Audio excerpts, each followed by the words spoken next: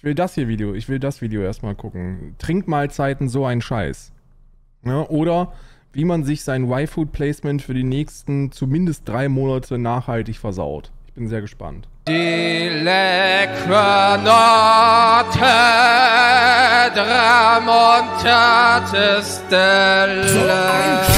Trinkmahlzeiten. Ich meine, versteht mich nicht falsch. Ohne der Möglichkeit, seinen durch harte Bildschirmarbeit geschundenen Körper mal schnell mit irgendeinem Zeug auf... Gibt übrigens keinen einzigen Grund, die nicht vegane Variante von Y-Food auch nur in Erwägung zu ziehen. füllen zu können, müssten wir im Jahre 2022 wahrscheinlich an kilometerlangen Schlangen vor Burger King und Co. herumcampen. Aber warum im Namen der Meines Wissens nach ist, ist Huel komplett vegan und cruelty-free, ne?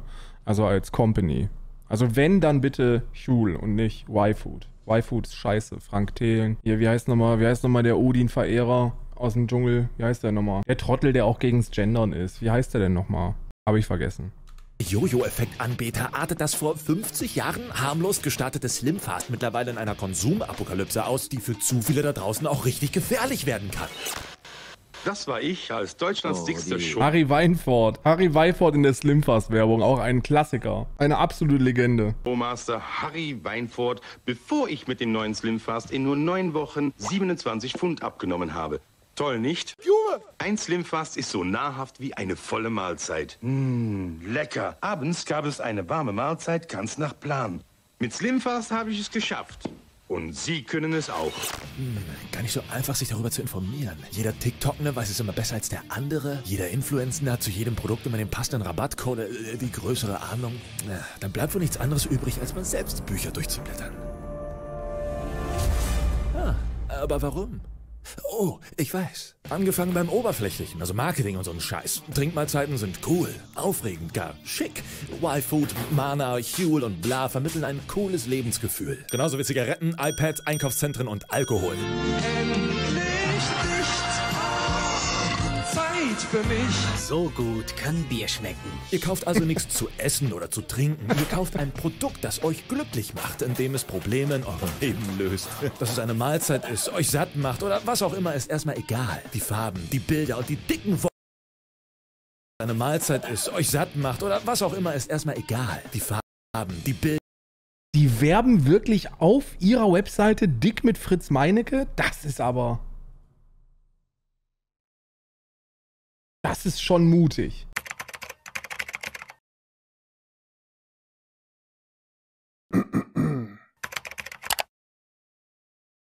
Also da muss man als Firma schon relativ wenig fix auf alles geben, oder? Bilder und die dicken Worte erzeugen das Gesamtbild aus dem lecker, gesund oder einfach muss ich haben. Wer jetzt aufsteht und Stell dir einfach vor, du hast Unge als Partner und wirbst mit Fritz Meinecke.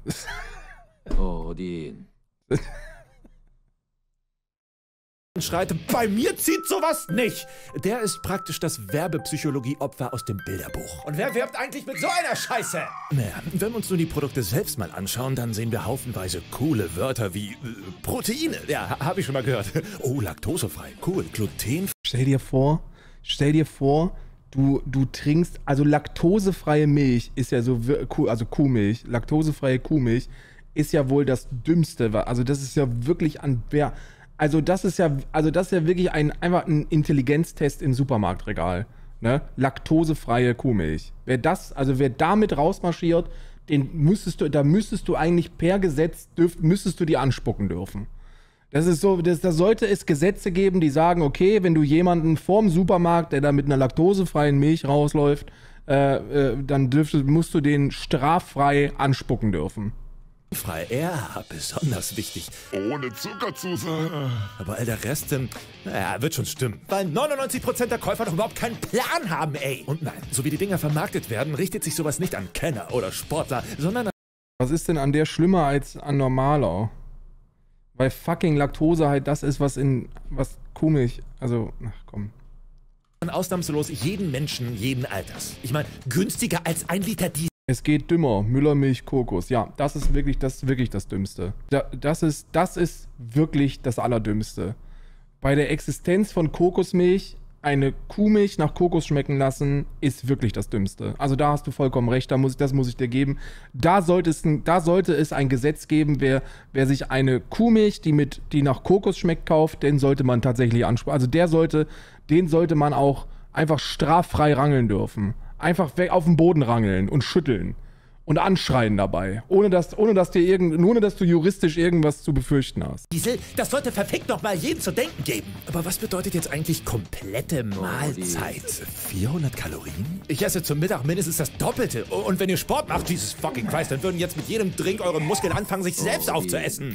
My muscles are getting bigger. Nun, ich kann es euch sagen, denn Trinkmahlzeiten fallen in Deutschland unter die Diätverordnung. Das heißt, solch ein Mahlzeitenersatz muss bestimmte Nährstoffe haben, darf nur einen bestimmten Brennwert an Kilokalorien haben und sollte ohne Aufsicht nicht eure Hauptnahrung sein. Verfickte Wildfoods sind also nichts anderes als verfickte Slimfast Diät-Shakes! Weil Frank Thelen wahrscheinlich der verbitterte Sohn von Harry Weinfurt ist und deswegen damals beim Geld reindrücken in den Laden sich rächen wollte oder whatever. Und warum gibt's recht aktuell noch beim Bundesamt für Verbraucherschutz und Lebensmittelsicherheit eigentlich eine Interessenserklärung mit Y-Food in der Fußnote zu Borderline-Stoffzulassungen? Naja, oder anders ausgedrückt, durch das Saufen dieser Scheiße und dem mit der Brechstange herbeigeführten Kaloriendefizit nehmt ihr erstmal ab. Aber weder nachhaltig, Stichwort Jojo-Effekt, noch bewusst, Stichwort Nährstoffe, die ihr potenziell zu viel oder zu wenig habt. Da ist es doch schon wieder Crazy Coconut von, von also Crazy Coconut von Y-Food. Es ist, es ist einfach, man sollte, also, Denn eine Kleinigkeit gibt's noch, äh, die Inhaltsstoffe. Auch wenn alle Trinkmahlzeiten im Grunde same ich schwöre euch, ich schwöre, klipp das, klipp das und ich schwöre euch, dass das passieren wird. Ich schwöre, es wird passieren. Es dauert jetzt noch drei Jahre, allerspätestens, bis die eine Kuhmilch rausbringen, die nach Hafermilch schmeckt. Und die nennen das dann This is not Hafer. Ich bin wirklich, ich bin mir ziemlich sicher, dass das passieren wird. Für alle Menschen, die gerne Hafermilch trinken. Gibt's schon. Gibt's, gibt's schon? Nee. Nee. Nee. Nee, das gibt es nicht. I can't believe this is not Hafer. Es gibt 50% Hafer, 50% Kuh. Ja, nee, das meine ich nicht. Ich meine schon 100% Kuhmilch, das nach Hafermilch schmeckt. Don't call it Hafer. same sind mit all dem zugesetzten Kram, gibt es tatsächlich Details, die sie unterschiedlich gut werden lassen. Slimfast beispielsweise ist im Vergleich mächtig Schmutz, aber was erwartet man auch von einem Ex-Unilever und aktuell Nahrungsmittelvormischunternehmen Glanbia-Produkt? What the fuck? Whole Supermilk.